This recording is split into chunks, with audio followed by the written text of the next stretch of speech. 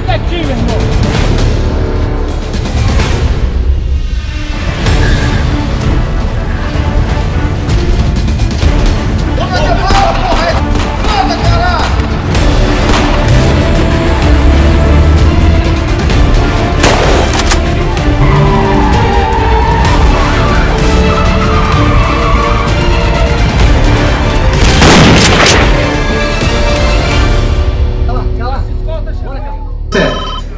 É pica, bicho.